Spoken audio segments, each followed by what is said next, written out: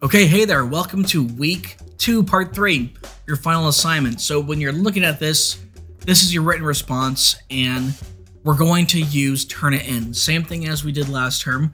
I'd recommend doing it in Google Docs using Grammarly, and then uh, submitting it to Turnitin. You'll have retakes, look at the grammar checker and the um, content checker to see if you're using citations properly. But let's go ahead and just look over it. Uh, optional resources are in the week two optional resources page. You've already known that from the last two assignments. The task, you're going to look at Act uh, 1, Scene 7 again. If you don't remember that, that's totally fine. I have the file right here to help you. And we'll even look at like the line numbers together, which are also displayed.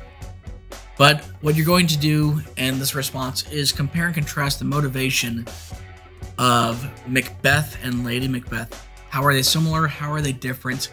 And who do you uh, empathize with more? Who do you feel more sorry sorry for? Who do you think is in control? That's all we're going to talk about. So the first step is going over this and find evidence that's comparing and contrasting Lady Macbeth's attitude and Macbeth.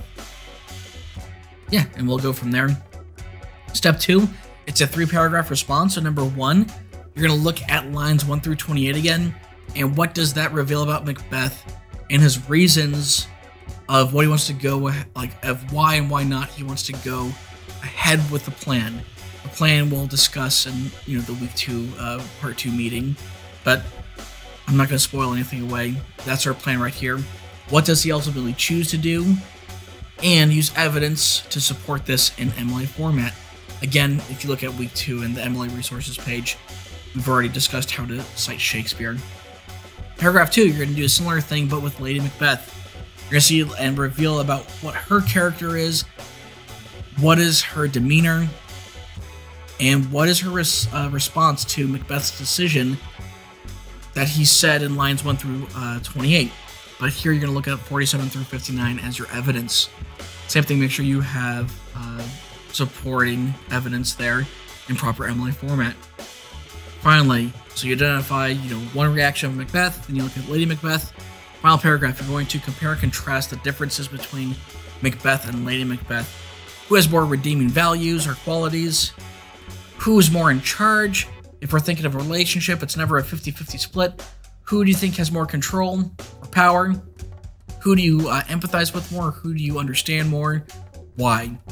That's our response there. And again, same thing, use a Google Doc, submit it in to Turnitin, and we'll go from there.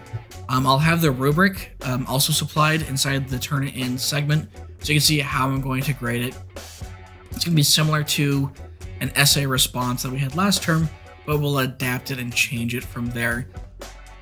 But yeah, if you have any questions, feel free to contact me, and I will see you in the meetings.